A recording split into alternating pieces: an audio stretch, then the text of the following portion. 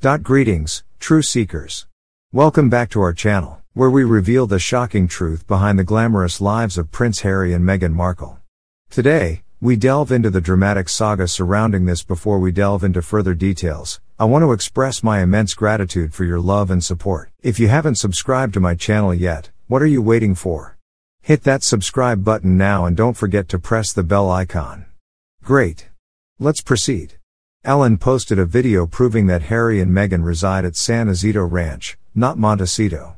In an Archewell video update, Harry and Meghan congratulated members of the Archewell Foundation from another mansion, not their alleged Montecito Olive Garden mansion.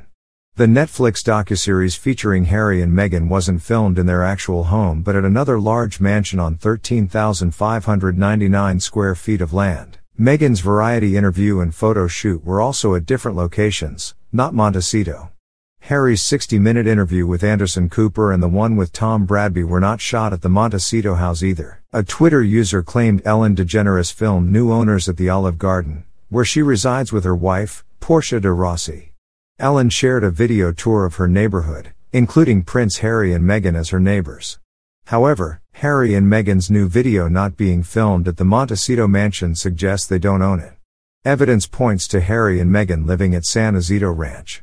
A Twitter user, Resting Dollface, found that Harrison Calkard, associated with San Ysidro Ranch, wrote a letter to a bike shop owner about Archie's gift.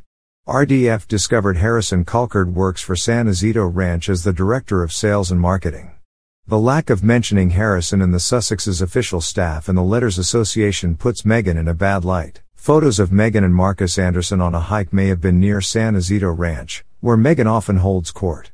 Recent photos of the Sussexes allegedly meeting celebrities were close to San Ysidro Ranch as well.